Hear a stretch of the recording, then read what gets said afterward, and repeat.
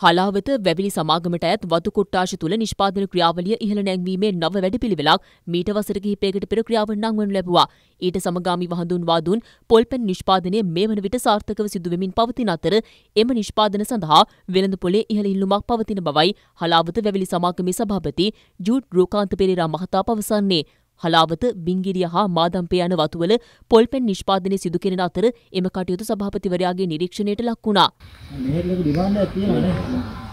මෙහෙට ඩිමාන්ඩ් තියෙනවනේ. අනික දැන් හොයාගෙන එනවනේ මෙච්චර අපේ මේ ක්වලිටි මිලියන 6කට වැඩි ආදායමක් දැනට උපද්දනවා. හැබැයි අපේ ඉලක්කය තියෙන්නේ ඉදිරියේදී නුදුරු අනාගතයේම ගස් 1000ක වගේ ප්‍රමාණයකට යන්න. ඒකට අපිට තියෙන ප්‍රධානම ගැටලුව තමයි ඇත්තටම මේ සඳහා පුහුණු අය හොයා ගැනීම. ඒ වගේම මේ තුලින් ඇත්තටම අපි බලාපොරොත්තු වෙන්නේ හොඳම පොල්පැණි එකක් සහ හකුරු එකක් ලබා දීමට මහරාවත පළාත් වතු කොට්ටාශයත් ඒ වගේම බිංගිරි පළාත් වතු කොට්ටාශයත් මාදම්පේ පළාත් වතු කොට්ටාශයත් තුනේ තමයි සිදු කරන්නේ. මේකෙදි අපිට ඉල්ලුමට අවශ්‍ය සැපීම දීගන්න බැරි ප්‍රමාණයක තමයි ඇත්තටම තියෙන ප්‍රධානම ගැටලුව. මොකද ඒ තරම් ඉහළ ඉල්ලුමක් තියෙනවා හොඳ පැණිය එක්කට. පුහුණු ශ්‍රමිකයන්ගේ හිඟේ හේතුවෙන් නිෂ්පාදන ඉහළ නැංවීමට බාධා පැමිණ ඇති බවත් මෙම නිෂ්පාදනවලට දේශීය මෙන්ම විදේශීය වෙළඳපොළෙහිද දැඩි ඉල්ලුමක් පවතින බව වතුපාලන අධිකාරිය පෙන්වා දෙනවා.